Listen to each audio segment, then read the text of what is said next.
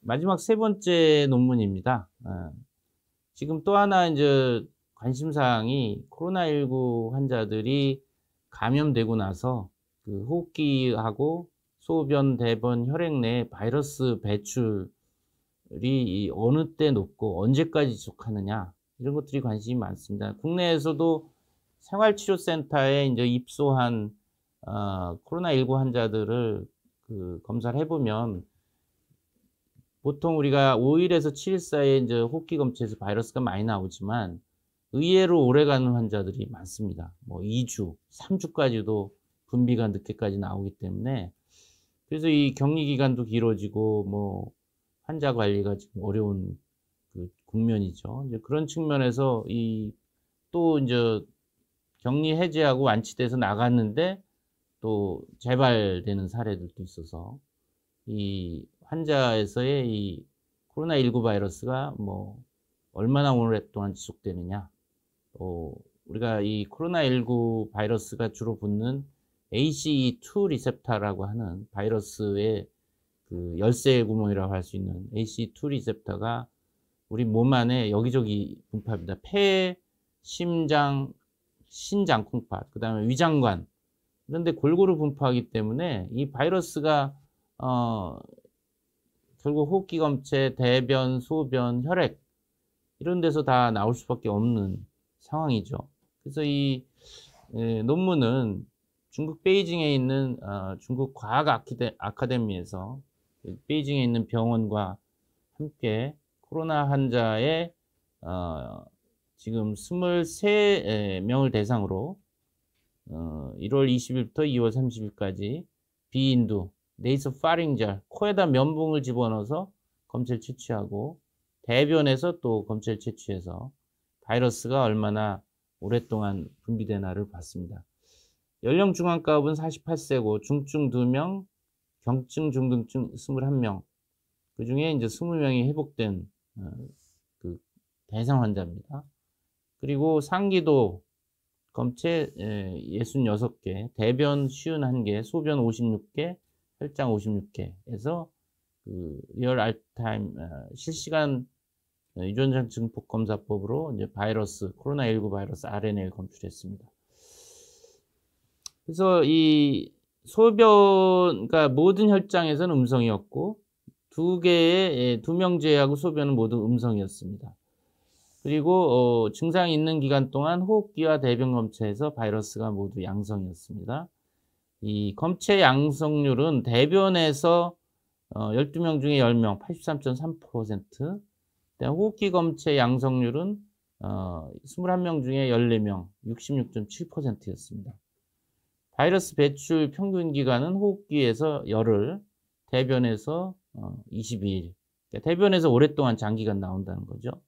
우리가 이제 호흡기 검체 위주로 진단하고 호흡기 검체로 어, 추적을 하는데 대변 검체의 그 모니터링 중요성이 에, 나오고 있습니다. 그래서 이 결국 23명 환자의 비인두 호흡기 검체와 대변 바이러스의 CT value, 그러니까 그 real-time RT-PCR에서 나오는 CT 값이 낮을수록 바이러스가 많고 높을수록 바이러스가 적거나 음성이라고 말씀드렸죠. 여기서 빨간 동그라미가 호흡기 검체입니다. 보면 어, 초기에 어, 6일에서 9일 사이에 이제 피크가 어, 호흡기 검체에서 바이러스가 많이 나온 걸 볼 수 있죠.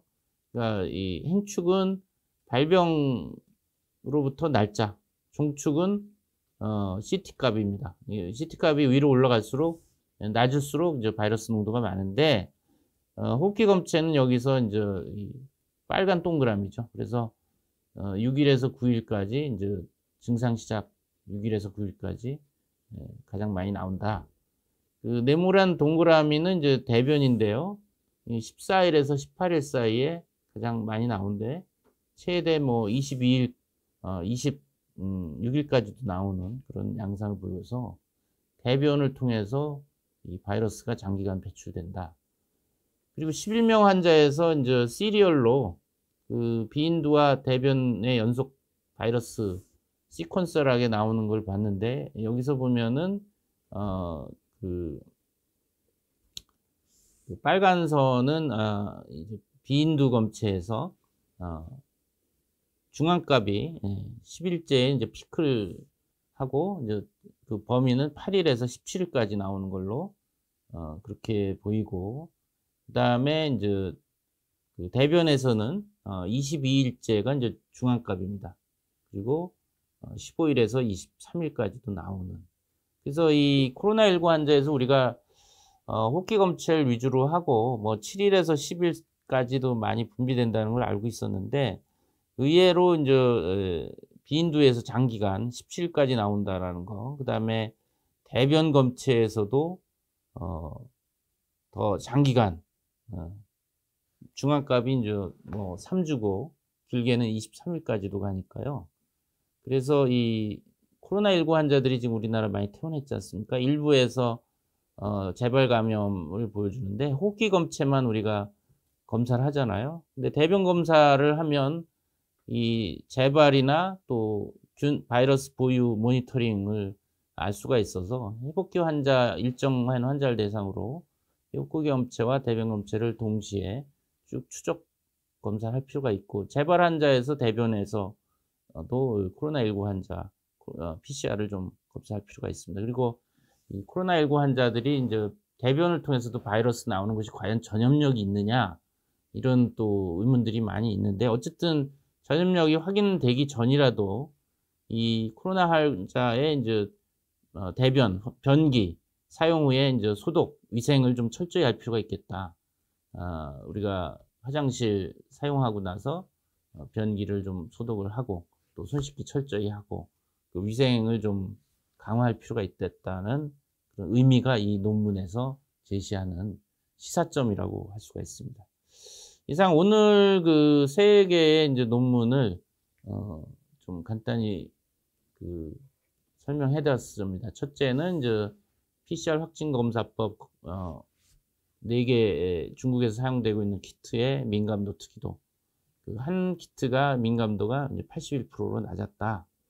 그런 말씀을 드렸고 두 번째 논문은 어, 위중한 환자 5명에서 회복기 혈장 치료를 했는데 어, 뭐 바이러스 억제 그 다음에 증상 호전 어, 중증도 개선 그리고 다 좋은 유의한 효과를 보였는데 물론 다섯 명이라는 제한된 소수를 가지고 치료 효과를 결정짓기는 어렵습니다. 앞으로 좀 더 대규모 환자, 다수의 환자를 대상으로 이제 회복기 혈장 투여군, 그다음 위압 대조군을 동시에 비교해서 어, 회복기 혈장 투여군에서 현저하게 호전이 된다면 우리가 좀 더 확실히 효과를 어, 입증할 수 있겠죠.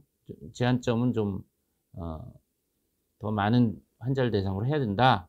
그렇지만 어쨌든 이런 그 뭐 다섯 명의 케이스 시리즈에서 회복기 혈장 치료라고 해도 긍정적인 효과가 있었다라는 것은 상당히 좀 희망을 우리가 주는 게 아닌가. 마지막 논문은 이 회복기 환자에서 우리가 어, 호기 검체뿐만 아니라 대변 검체를 좀 모니터할 필요가 있다. 장기간 뭐 연속적으로 뭐 3주 이상 분비가 되기 때문에 모니터를 하고 또그 대변을 통한 감염 우려, 그에 대한 감염 예방 조치가 좀 필요하겠다 하는 시사점을 이 마지막 논문은 주고 있는 것 같습니다.